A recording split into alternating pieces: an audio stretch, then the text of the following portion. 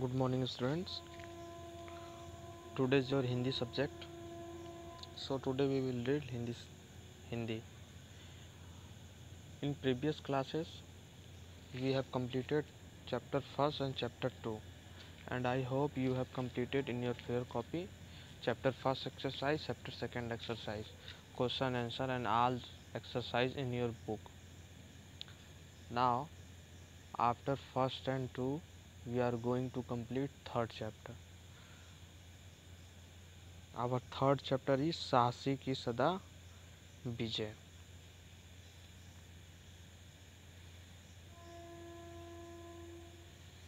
तो चलिए आइए, पढ़ते हैं अपने थर्ड चैप्टर को।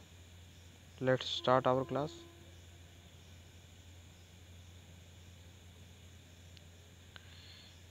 एक बकरी थी। ये एक स्टोरी है। बहुत ही प्रेरणादायक स्टोरी है, जिससे हम कुछ न कुछ सीख सकते हैं। ये कहानी एक बकरी और मेमने और भेड़िए की है, जो बकरी और मेमना अपने चतुराई से अपनी जान की रक्षा करते हैं, एक भेड़िए से। तो चलिए आइए पढ़ते हैं इस कहानी को। एक बकरी थी। एक था उसका मेमना, ठीक है? बच्चा, ठीक है? तो एक बकरी थी और एक बच्चा, उसका मेमना। दोनों जंगल में चर रहे थे। चरते चरते बकरी को प्यास लगी। मेमने को भी प्यास लगी। दे आर थर्स्टी दोनों क्या हैं? प्यासे हैं। बकरी बोली, चलो पानी पिया है। मेमने ने भी जोड़ा हाँ माँ, चलो पानी पी आए। तो प्यास लगी है तो बकरी मेमने से कहती है, चलो पानी पी आए। तो मेमने भी, मेमना भी कहती है कि हाँ हमें भी प्यास लगी है, चलो मैं भी साथ चलती हूँ और पानी पीते हैं। पानी पीने के लिए बकरी नदी की ओर चल दी मेमना भी पानी पीने के लिए नदी की ओर चल पड़ा। दोनों लोग नदी की ओर चल पड़े, मेमना और बकरी। दोनों चले बोलते बतियाते बोलते बतियाते मतलब बात करते हुए टबक टबक टबक बातों बातों में बकरी ने मेमने से बताया। मेमने को बताया। क्या बताया?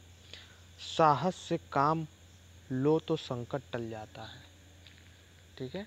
अगर अंदर आपके साहस हो, हिम्मत हो इफ़ यू हैव करेज तो कोई भी प्रॉब्लम हो, कोई भी संकट, कोई भी समस्या हो आपके पास, कोई भी परेशानी हो, वो क्या हो जाता है? वो टल जाता है। उसको आप आराम से, उसको परेशानी को आप दूर कर सकते हैं। धैर्य यदि बना रहे तो विपत्ति से बचाव का रास्ता निकल जाता है। इसका मतलब विपत्ति से हमें घबराना नहीं चाहिए। चाहे कोई भी समस्या है, हमें उस समस्या का सामना धैर्य के साथ, शांतिपूर्ण तरीके से पैसन के साथ करना चाहिए। अगर हम घबरा के करेंगे किसी भी विपत्ति का सामना तो वो वो विपत्ति हमें और भी बड़ी लगने लगेगी और फिर उससे निकलना मुश्किल हो जाएगा। लेकिन वो समझा रही है कि धैर्य बना कर अगर हम उस विपत्ति का सामना करें तो वो विपत्ति से हम निकल सकते हैं। चलिए आगे। माँ।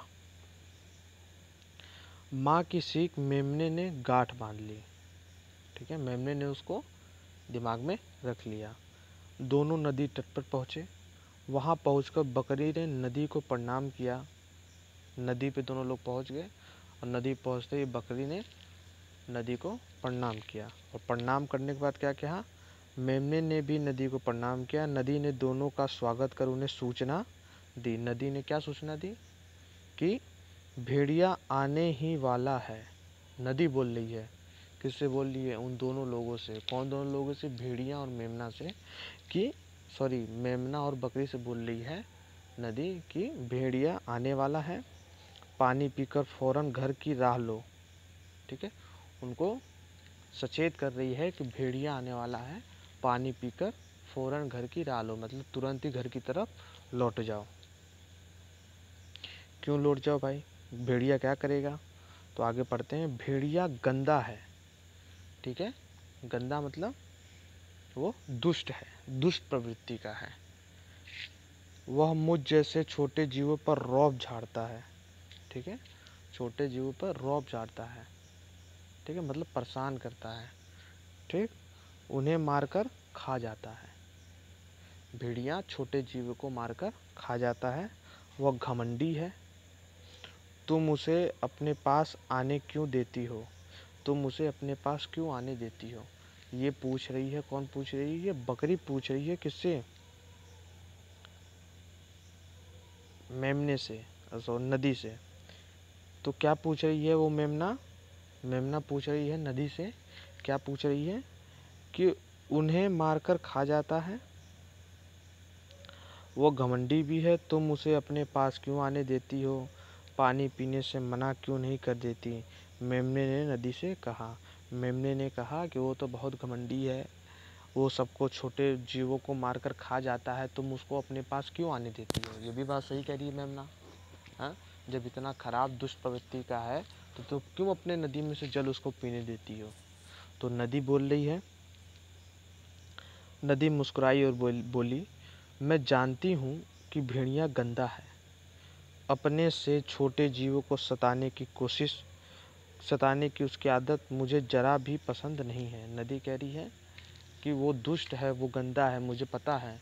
वो छोटे जीवों को जता, सताता है, वो भी मुझे पसंद नहीं है, वो भी मुझे अच्छा नहीं लगता है। पर क्या करूँ? वह जब भी मेरे पास आता है, प्यासा होता है। प्यास बुझाना मेरा धर्म है, मैं उसे मना नहीं कर सकती। तो नदी क्या कह रही है कि जब भी वो आता है तो वो प्यासा होता है। उसको प्यास लगती है, उसको पानी चाहिए, ठीक है? प्यास कैसे बुझती है? पानी से।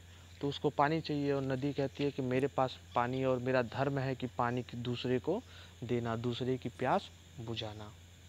इसलिए मैं मना नहीं कर सकती हूँ। ठीक है?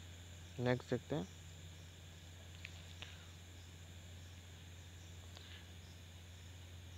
बकरी। को बहुत ज़ोर की प्यास लगी थी, मेमने को भी बहुत ज़ोर की प्यास लगी थी। दोनों नदी पर झुके, नदी का पानी शीतल था, साथ में मीठा भी, बकरी ने खूब पानी पिया, मेमने ने भी खूब पानी पिया। नदी का पानी ठंडा था तो दोनों लोगों को प्यास लगी थी तो उन्होंने क्या किया they are starting to drink water ठीक है? उन लोगों ने पानी पीना शुरू कर दिया। तो पानी कैसे पियेंगे? नदी में सर को झुका के पियेंगे। पानी तो सर के पास आएगी नहीं, मुँह के पास आएगी नहीं। क्या पड़, क्या करना पड़ेगा? हमें सर पानी के पास ले जाना पड़ेगा। तो वो झुक कर पीने लगे। फिर क्या हुआ? पानी पीकर बकरी ने डकार ली, पानी पीकर मेमने ने भी डकार ली। पानी पीने के बाद डकार आती है, खाना की, खाइए, पानी पीजिए। फिर क्या होती है? डकार कभी कभी आ जाती है। तो यही चीज़ उन दोनों के साथ हुआ। दोनों ने डकार ली। और डकार लेने के बाद डकार से पेट हल्का हुआ तो दोनों फिर से झुक गए पानी पीने। ठीक है? फिर से झुक गए पानी पीने। फिर नदी, अब देखो क्या हुआ। नदी उनसे कुछ कहना चाहती थी।